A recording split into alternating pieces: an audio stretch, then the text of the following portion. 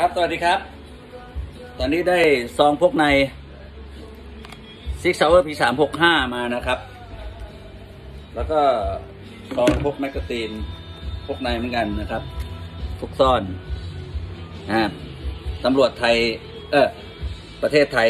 อนุญาตให้มีใช้ปืนพกซ่อนประเภทนี้นะฮะแต่อเมริกาอนุญาตยากมากนะครับ เพราะมันมองไม่เห็น อันตรายมากอันตรายกว่าปืน เอ่อ ทั่วไปเพราะมันเล็กนะครับเล็กในขณะที่เอ่อขีปนาวิถีของออขนาดเก้า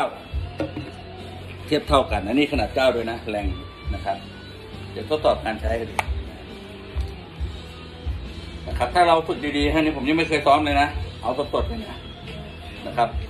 การชักเร็วนะครับมีมันจะมีติดบ้างอะไรบ้างนะครับ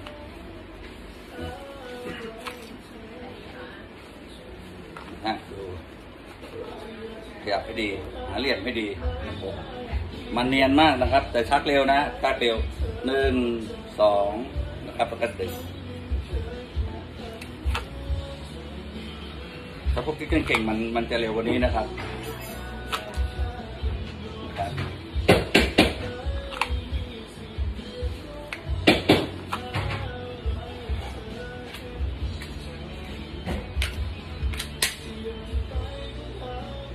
พอได้ฮะต้องซ้อมหน่อยต้องซ้อมหน่อย